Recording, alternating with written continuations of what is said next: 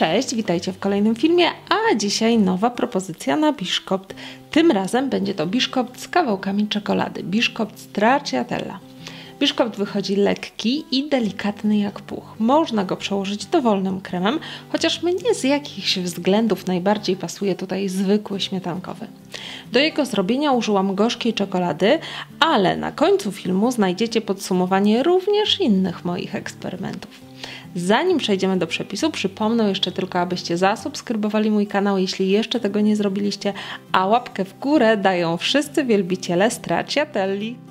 5 dużych jajek i 150 gramów, czyli 2 trzecie szklanki cukru umieszczamy w misie miksera.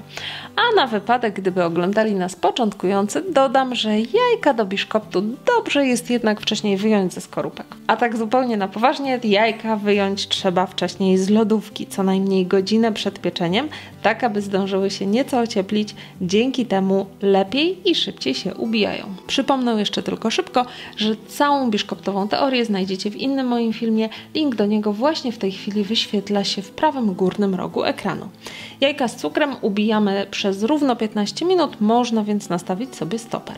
A w tym czasie po pierwsze nastawiamy piekarnik, tak aby nagrzał się do właściwej temperatury i przygotowujemy jeszcze resztę składników. 180 g mąki pszennej tortowej, u mnie 1 i 1 czwarta szklanki i jedna łyżka, czyli 20 g mąki ziemniaczanej mieszamy razem.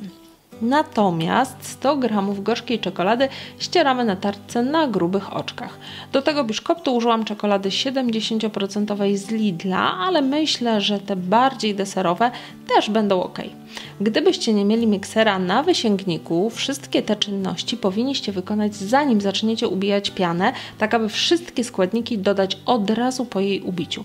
W innym przypadku piana siądzie, czyli straci objętość, zanim zdążycie wszystko przygotować. Do gotowej piany dodajemy po 2-3 łyżki mąki za jednym razem.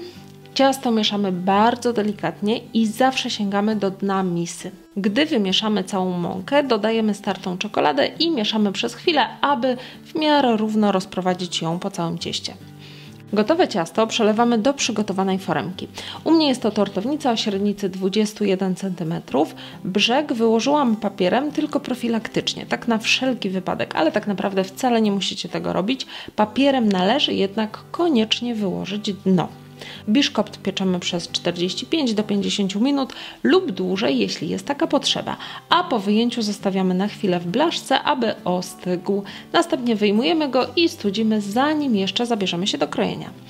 Czas na obiecane eksperymenty. Oczywiście, jak to u mnie bywa, zaraz po wyjęciu biszkoptu z piekarnika z ust moich dzieci padło pytanie, czy da się zrobić taki, ale z czekoladą mleczną?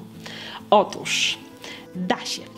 Z tym, że czekolada mleczna bardziej rozpuści się w biszkopcie i uczyni go też bardziej słodkim. No ale dać się da, jak widać na załączonym obrazku. Smacznego!